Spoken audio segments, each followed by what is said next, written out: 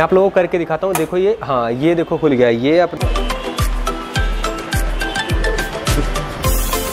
Hi friends आज मैं आया हूँ होंडा के शोरूम में। यहाँ पे न्यू एक्टिवा आई है एक्टिवा सिक्स जी आज मैं उसके फीचर्स डिटेल बाकी प्राइस और सब कुछ बताने वाला हूँ और क्या क्या चेंजेस हुए हैं वो भी बताने वाला हूँ।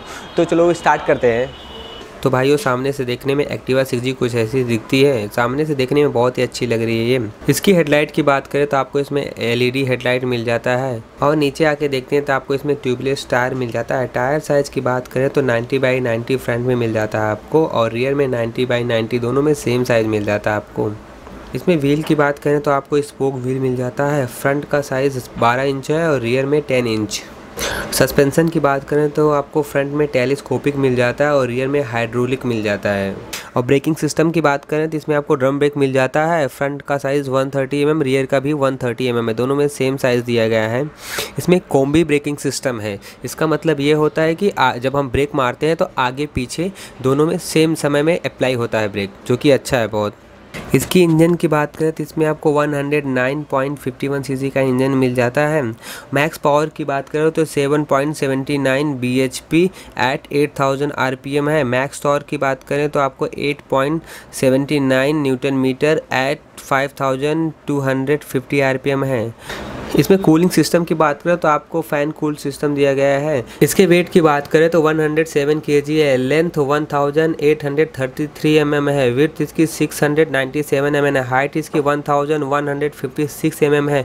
व्हील बेस 1260 mm है। ग्राउंड क्लियरेंस 171 mm है। सीट हाइट 692 mm है। ये किक और सेल्फ दोनों स्टार्ट होता है, जो कि बहुत अच्छा है। इसमें आपको फ्यूल इंजेक्टर भी मिल जाता है।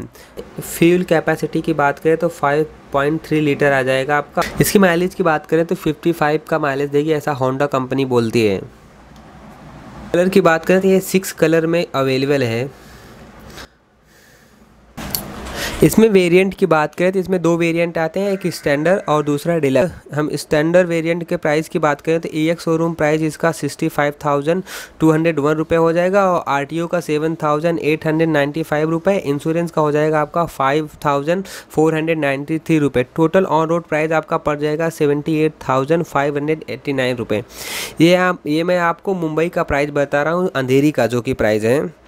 अब हम डिलक्स की प्राइस का बात करते हैं। ई एक्स शोरूम प्राइस इसका sixty six thousand five hundred twenty one रुपये हो जाएगा। आर टी ओ का एट थाउज़ेंड सिक्सटी थ्री रुपये हो जाएगा। इंश्योरेंस का हो जाएगा आपका five thousand five hundred seventeen रुपये टोटल ऑन रोड प्राइस हो जाएगा आपका eighty thousand one hundred one रुपये ये भी मुंबई का ही प्राइस बता रहा हूँ, अंधेरी ईस्ट का।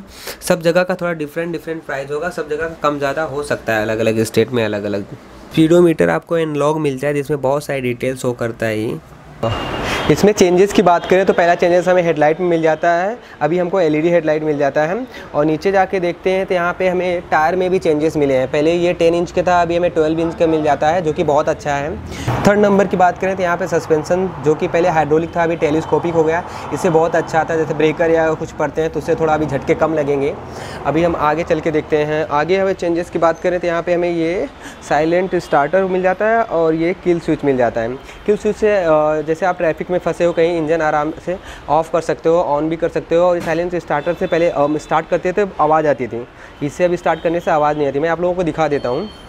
ये ऑन किया ऑन करने के बाद ये ये स्टार्ट ये देखो एकदम कितना साइलेंटली स्टार्ट होता है, क्योंकि बहुत अच्छा हो गया। ऑफ़ करने के लिए यहाँ से हम ऑफ़ कर देंगे। और नीचे जाके देखेंगे तो की का जो था पहले वैसे ही है और कुछ चेंजेस नहीं है। और हाँ यहाँ पे एक चेंजेस आपको मिल जाएगा देखने पे। यहाँ पे ये फ्यूल का अलग से ऐड किया गया है और सीट का। फ्यूल जो पहले था, हमारा ये सीट के नीचे आता था, अभी हमारा ये साइड यहाँ पे आने लगा है, यहाँ पे पीछे। वहाँ पे जो बटन दिया गया है, उसको हम पुश करेंगे यहाँ पे तो वहाँ पे वो लॉक खुल जाएगा। मैं आप लोगों को करके दिखाता हूँ। देखो ये हाँ ये देखो खुल गया। ये अपना फ्यूल टैंक है, जो कि बहुत अच्छा है। बंद करने के लिए ऐसे हाथ से बंद करना पड़ेगा। और ये सीट का भी यहाँ से दिया गया है। यहाँ से इसको पुश करेंगे ऐसे करके तो सीट खुल जाएगी। अभी हम सीट खुल के दिखा रहा हूँ आप लोगों को। ये देखो, इसके अंदर स्पेस बहुत सारा स्पेस मिल जाता है आपको। बहुत सारा सामान रख सकते हो हेलमेट या सब्ज़ी ऐसा कुछ, बहुत कुछ रख सकते हो, जो कि बहुत अच्छा है। आगे बात करें तो हम लोग, पहले में अपर डिपर मिल जाता था लेकिन पासिंग लाइट नहीं मिलती, तभी हमें पासिंग लाइट भी दिया गया है। ऐसे करने पर आपको पासिंग लाइट मिल जाएगी। बैटरी यहाँ पे मिलती थी। अभी बैटरी यहाँ पे नीचे लगा दिया गया है, इसके नीचे लगा दिया गया है जो कि बहुत अच्छा है। और इसमें ग्राउंड क्लियरेंस भी थोड़ा बढ़ गया है। तो इसमें ज़्यादा कुछ चेंजेस आपको देखने के नहीं मिलता। जो मिलता है मैंने आप लोगों को बताया।